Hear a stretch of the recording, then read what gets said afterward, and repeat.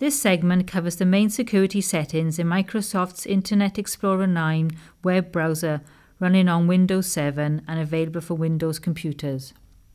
As the default web browser installed on all new Windows computers, Explorer is one of the more popular web browsers for consumer and business users.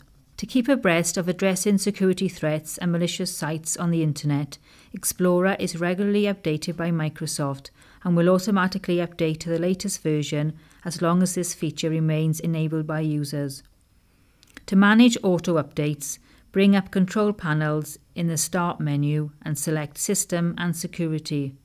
Now, click on Windows Update and select Change Settings from the left menu. Under Important Updates, select the drop-down menu to check your current preference. It's advisable to have Install Updates automatically as your default. Explorer allows you to manage your privacy and security settings in a couple of ways, both accessed through the small Settings cog top right in the browser window.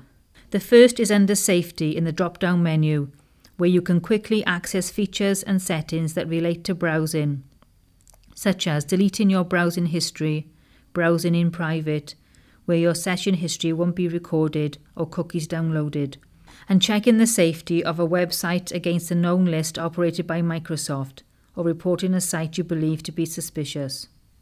The second and more detailed way to manage settings is by selecting Internet Options under the Settings cog in the drop down. Several tabs allow very precise management of how Explorer allows Internet content to be presented to you, including clearing your browsing history after quitting Explorer, managing computer storage allocated to web content, and controlling tabs and pop up pages. The Security tab allows you to select and manage different zones from which you might access the internet and the ability to set a security level for each zone that will filter certain content and data. Under Trusted Sites, you can list which sites you trust and also choose whether these carry more secure HTTPS server verification. The Privacy tab allows you to set a level of privacy using the slider and then edit which sites can or cannot use cookies by either blocking them or allowing them in your own defined list. In the advanced settings, you can override Explorer to manage how first and third party cookies are handled, or whether to accept all cookies in a browsing session. Also, under Privacy, you can block any requests from sites for your physical location, block pop ups, and manage which sites are allowed to open pop up windows, and disable extensions when using in private browsing.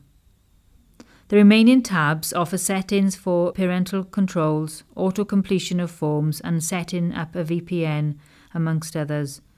And the Advanced tab offers a large number of very granular options you may want to explore. Finally, the Programs tab allows you to specify your default browser, manage any browser add ons you may have installed, and select which applications on your PC that Explorer should interact with, such as your email client. Taking a few minutes to configure the Explorer browser to your own privacy and security preferences can give you some confidence in browsing the web safely.